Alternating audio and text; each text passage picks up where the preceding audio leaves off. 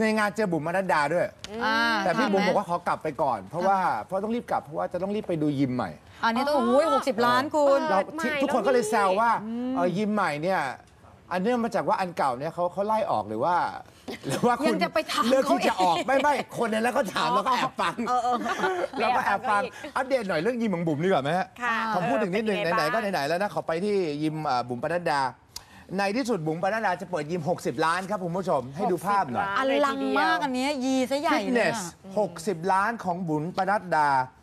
จะเปิดวันที่ 30 พฤศจิกายนนี้แน่นอนนะครับ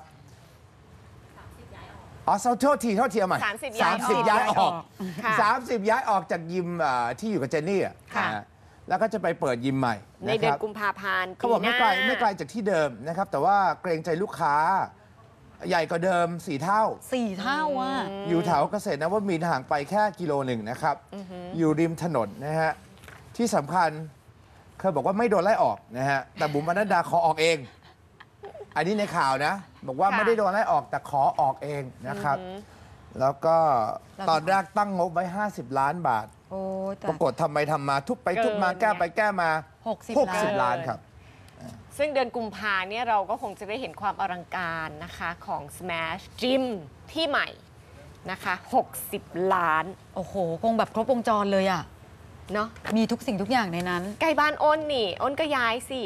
ย้ายไปจากไหนไปไหนคะ ไปเป็นครูเลย เป็นครูสอนเต้นเหรอไปสอนเต้นมามีใช่อะไรเต้นไม่เก่งเลยค่ะอะ โอ้เดี๋ยวต้อง ต้องติดตามเขาต้องกุมติดภาตามเนาะ ว่ามันจะยิ่งใหญ่กุมภาค่ะคิดว่าเป็นกุมภา warehouse แบบนี้มันจะต้องมีแบบแนวเมืองนอกเนาะอุปกรณ์ยิมไปตั้งเต็มไม่หมด ก็ค่ะดูกันว่ายิม 60 ล้านจะหน้าตายังไงอีกไม่กี่วันข้างหน้านะครับ